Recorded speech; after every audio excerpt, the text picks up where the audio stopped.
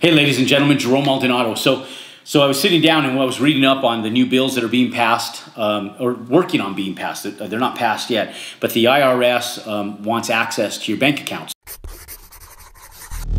So Biden's trying to um, put pass a new bill where it says that and, th- and, there's a lot to this bill. It's over 100 pages long. So understand, I'm hitting out the key points that affect real estate, real estate investors, and all of us as U.S. American taxpayers. Okay, and so um, the new tax laws, as they're written out, um, there's there's a couple different points that um, I'd like to uh, talk about. One of them is the fact that anybody who has any account that has over $600 in it the, the IRS wants it to be tracked, and they want a law that it can be tracked.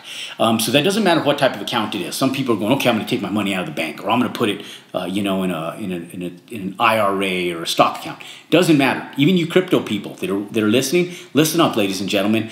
Your crypto accounts, they can be anything over six hundred dollars in your crypto accounts can be tracked, and they want it to be. They, well, they want it to be tracked.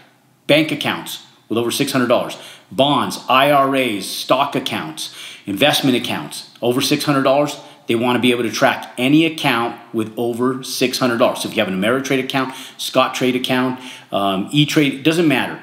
All of your accounts that have to deal with banking, finances, investments, crypto, any of it, they want to be able to track all of that stuff. And they're, they're wanting to allocate, they want to increase the budget by 3,000, um, by 2,000 33. They want to be able to um, have over, um, they want to increase the IRS um, payroll budget by over 90% and increase the, uh, the amount of employees the IRS has um, almost double what they have now within the next within the next 10 years or less. And so, what does that mean for US Americans? That means more people are going to get audited. And what they're trying to do is they're trying to come in and attack the ultra wealthy, right? But here's what happens, ladies and gentlemen. Most people that are running lucrative companies and lucrative businesses, they get to a point where they can't themselves facilitate the day in, day out taxes that um, their businesses are, are going through. So a lot of times it's not the big corporations that are going to get affected by this or the large asset collectors like that have large CPAs and accountants. So these people already have people put in place that take care of their taxes, finances, and find the best tax strategies to take advantage of the tax write-offs, right? So like we talk about real estate tax deployment, tax, uh, deploying capital tax deferred, and um, we always advise that you guys talk to a great real estate attorney or tax professional to be able to help you guys. Who this lands up affecting is the mass majority of the middle class and lower income. Now, it's set in the statute that is set to be able to hit more of the upper middle class and wealthy, but, ladies and gentlemen, what lands up happening is the less affluent small business owner, which employs the mass majority, over 80% of our, our population, um, are the ones that are typically having tax issues. I know I was fortunate enough to have my, my dad do my taxes for many, many years.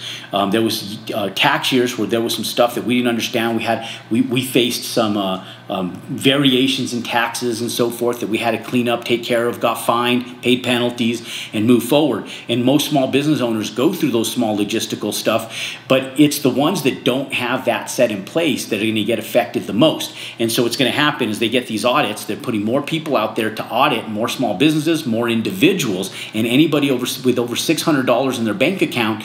And what, what what's really scary about it is it really attacks your rights and the Fourth Amendment, where you can go in and it says you have the privacy of, of not disclosing um, and can't be um, taken from you all your paper rights, um, your, um, your privacy rights, and everything that's in disclosure um, for you personally. But the way that they're getting around this is that they're not going out and they're not attacking it and they're not taking it from you. Um, they're they're requiring it from you, and the way they do it is the way I believe it's going to happen is they'll have some type of disclaimer at the bank. So at some point in time, you'll get a paper in the mail or maybe something at the bank on an ATM machine um, or something on your uh, when you go to the bank and you slide your car in and pull up your account that you click yes on a box. You can't proceed to you click yes on a box, and in that box is going to be a policies and procedures that asks for for your allowance to be for them to allow the IRS to come in and look at your bank account. And so, without even knowing, because most people don't read those terms and conditions that are lengthy, and especially if it's on an ATM machine or on one of the little um, card machines at the at the uh, at the ATM counter or at the uh, clerk counter, you have to sit there and read through it and dissect and say, "Well, let me get back to you. I'm going to take these terms and conditions to my attorney." And how many you, how many Americans are going to do that, right? You sit down, you go, "Well, let me take this back to my attorney. Let me have him look through it, and then don't worry about the money. I'll come back tomorrow, the next day, or the next day to come in and take care of my banking so my attorney can review these policies, terms, and procedures. And then, if I don't like them, I'll have Mr. Banker, Mr. Banker change them for me. Yes or no? The answer is no. It's not going to happen. And so what happens is we land up clicking, giving them access. Now they found a way around the Fourth Amendment for you to allow them to get access to your bank account. So will it happen in that exact same nature? I don't know. All I know is there's going to be there has to be something that happens similar to that that allows them and gives them access that it grants that you get you grant them the right to have access to your account. So probably be now from here forward on any new bank account once if the bill passes um, that you're signing on that initially, and they'll probably have it in multiple places. And that way, if it ever comes down to a Supreme Court ruling or a, a lawsuit or something um, in the in the courts, it is protected legally. Now, here's what's funny um, about the uh, about taxes and the IRS. Um, so the IRS is a non-governmental agency, just like the Federal Reserve. The Federal Reserve was implemented in 1912.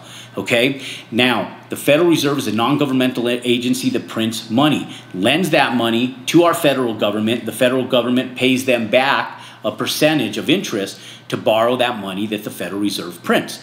Now, the IRS, ironically enough, was created in 1913, which is the first year that taxes were actually implemented for the US American people.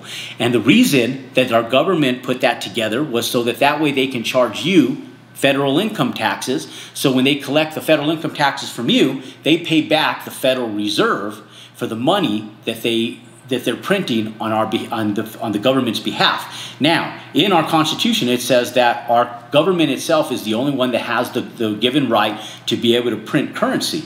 Although we gave up that, that right in 1912 when we uh, allowed the Federal Reserve to print money on our behalf, which is non-constitutional, and that's what happened. Um, and, and so there's been there's a lot of politics that go on behind that. I'm not going to get into the politics and logistics of that today. I just wanted to simply inform you guys of what's happening with these new tax laws and new um, IRS regulation laws that they're trying to set in place in the Biden administration. So, ladies and gentlemen, another um, act from Congress trying to in, invade and infringe on your freedoms, your rights, and your privacy, and um, and yet putting more restrictions in governing uh, in governing abilities to be able to uh, come in and audit our uh, our finances simpler, easier, and more aggressively, and it's going to affect everybody, ladies and gentlemen. So, um, you know, a little information um, for your research, for your um, for your liking. If look we sit down, we read these articles, we uh, do the research, and if you like this content, ladies and gentlemen, and you want more stuff just like it, then click below. Give us a thumbs up. Let us know that you like the content that we're creating. Click and subscribe to our YouTube channel so you can get notified of more content that we're producing just like this. Ladies and gentlemen, go out and make it a great day, and don't forget to compound your success.